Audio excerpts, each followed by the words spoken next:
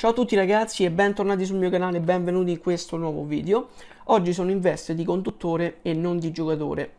Questo perché da oggi inizia una nuova serie oppure trasmissione chiamata Mentalità da YouTuber, che consiste nell'intervistare uno YouTuber porgendogli delle domande che sono scritte su questo foglio qua e ovviamente ricevere una risposta.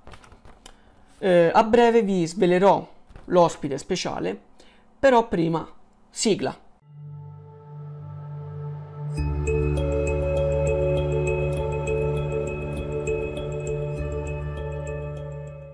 Ed eccoci qua. Prima di iniziare, se volete darmi un piccolo supporto, iscrivetevi al canale, lasciate un bel mi piace, commentate, condividete e attivate la campanellina per rimanere sempre aggiornati. L'ospite di oggi è Pangolino Studio Red J, qui vi lascio il canale e ve lo lascio anche in descrizione.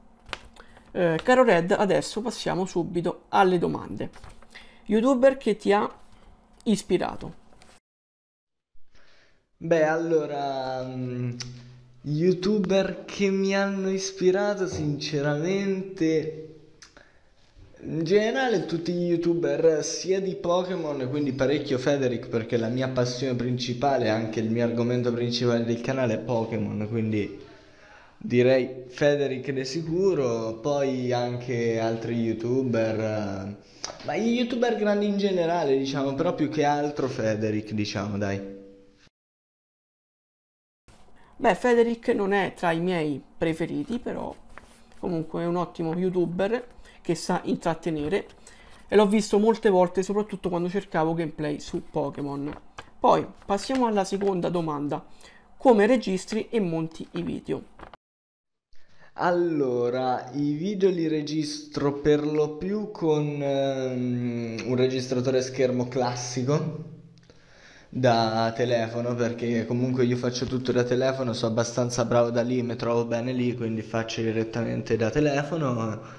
E praticamente ehm, ehm, li registro con un registratore schermo, quelli che appunto sono registrabili tramite schermo poi eh, post editing li ritaglio in modo da far vedere soltanto la parte interessata e non tutto lo schermo del telefono. Grazie ad un'applicazione stupenda ragazzi ve la consiglio se volete editare video da telefono è la migliore personalmente UCAT UCAT veramente rispetto a tutte quelle che ho provato è anni luce avanti veramente. È molto molto meglio e poi ritaglio, li monto in generale, rispetto, faccio qualche taglio ogni tanto, ci metto la sidebar sui video. Quindi prendete appunti ragazzi, se anche voi fate video con il cellulare scaricate UCAT perché è un'ottima applicazione. Poi, terza domanda, quali sono i tuoi obiettivi? Beh, allora, l'obiettivo principale ovviamente è quello di divertirmi e di intrattenere il pubblico che mi segue. Poi viene l'obiettivo di crescere, come tutti gli youtuber, come tutti gli youtuber hanno, viene l'obiettivo di crescere. Mm, niente, insomma, più che altro questi. Bellissima risposta, mi trovo d'accordo, soprattutto nella parte in cui hai detto che, eh, che per prima cosa è bene intrattenere il proprio pubblico e poi puntare in alto. Ottimo. Poi, quanto contano per te i risultati? I risultati, beh, eh, allora, i risultati di sicuro contano, contano tanto, contano tanto in un canale YouTube in generale perché Comunque se hai dei risultati, se hai dei numeri più grandi, puoi avere appunto più persone da far divertire e intrattenere con i tuoi video. Quindi diciamo che con numeri più grandi, con risultati più grandi, quindi puoi intrattenere più persone e anche più soddisfacente, quindi contano sia a livello soddisfacente che a livello appunto per intrattenere gli altri, insomma, più il pubblico che hai è vasto, meglio è.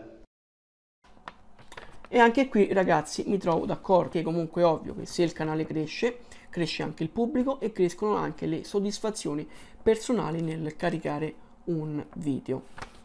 Eh, però qui vorrei rispondere dopo aver ascoltato la quinta e ultima domanda, ovvero i consigli su chi vuole aprire un canale nel 2020.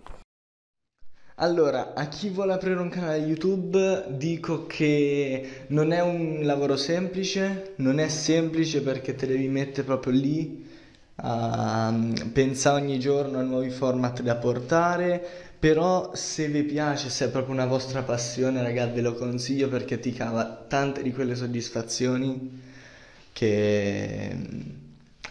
Cioè, non ci sono parole per descriverle, insomma, diciamo. E poi mh, dovete essere forti a non mollare manco nei momenti più brutti del vostro canale. Dovete sempre continuare perché la passione, raga, è sempre più forte, sempre più forte man mano che fate i video, raga. Quindi a chi vuole aprire un canale YouTube consiglio di essere sempre costante nel pubblicare video e cercare di non fare YouTube per avere per forza dei risultati, fare YouTube per intraprendere. Sì, mi trovo d'accordo anche qui, grandissimo Red. Eh, invece quello che consiglio io è quello di non, um, di non porsi nessun limite. Se volete aprire un canale, fatelo, portate quello che volete, provate, tanto raga non è che tutti quanti poi salgono in cima, cioè tutti ci provano ma non tutti salgono. Comunque quello che è importante è la passione e soprattutto non fatevi condizionare troppo dalle persone, perché comunque nessuno può sapere cosa volete voi, che magari se uno consiglia, se uno magari chiede a un amico e ah fra che faccio poi porto questo, quello ti dice no non lo portare perché magari non, non, fa numeri oppure ti dice no devi, devi, portare questo perché questo porta numeri. Ragazzi voi portate quello che volete punto. Poi certo è ovvio che se c'è un, una moda è ovvio che voi se volete avere provare avere dei numeri alti lo fate ma fatelo perché lo volete voi non perché ve lo consigliano. Questo è il mio consiglio. Spero che l'ho spiegato bene, devo anche migliorare molto nel parlare e, e, appunto per questo ho deciso di iniziare questa serie qui.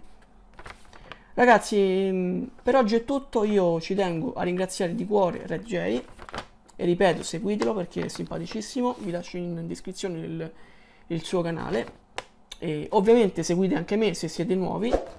E noi ci vediamo in un prossimo video o in un prossimo vlog. Ciao!